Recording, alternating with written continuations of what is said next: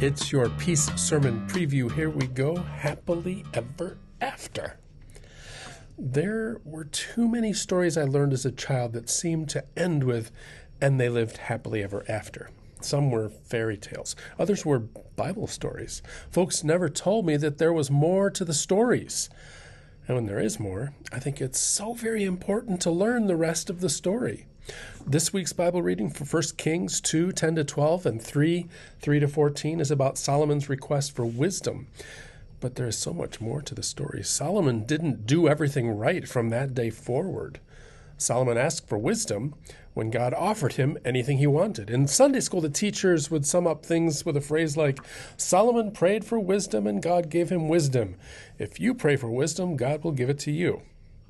It wasn't until later that I dug deeper to learn more of the story.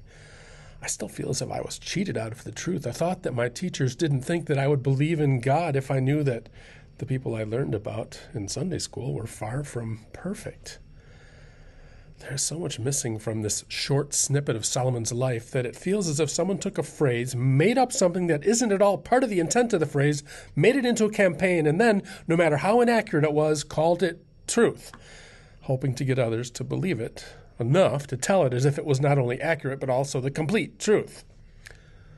Solomon was far from perfect. He made many mistakes. He didn't always show wisdom. Solomon let the temple become a place poisoned with power and corruption. He built temples to many other gods and made poor decisions when it came to taxes and even raising his children. He was a great example of how people are capable of messing up in huge ways. And God still got to be the one who was able to get things done. Why couldn't we remember Solomon as the king who messed up royally and that God still loved him? Solomon made mistake after mistake, and God still got things done.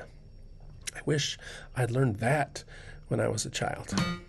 I'll see you Sunday.